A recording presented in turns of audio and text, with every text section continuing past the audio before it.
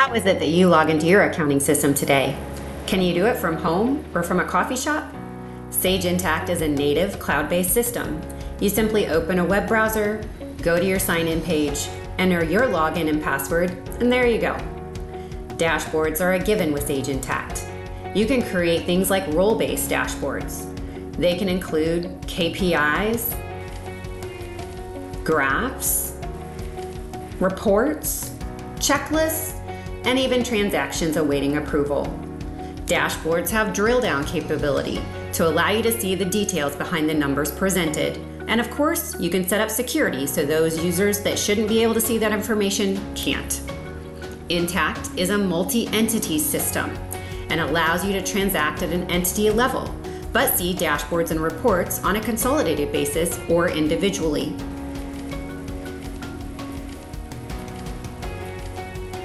With an inter entity comes automated due to and due from postings when one entity pays on behalf of another entity. And of course, Sage Intacct's claim to fame dimensions. Dimensions come standard with Sage Intacct and allow you to segment areas of your business for reporting purposes.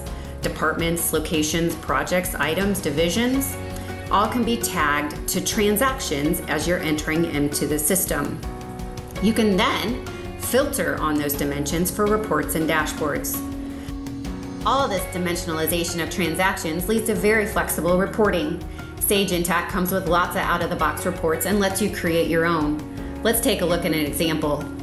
Here, we can view a consolidated P&L for all entities, or we can just filter down on one entity by itself.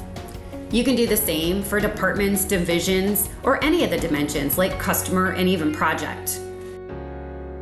Sage Intacct is very focused on a continuous close, so you aren't tied to your desk at the end of the month or the year.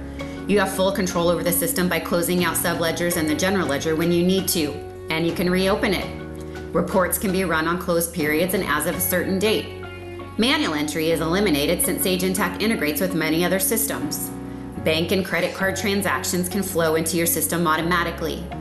Consolidations and eliminations are automated even if currency conversion is needed. And once you set it up, allocating month end balances just happens without any work from your part. Do you like what you've seen so far?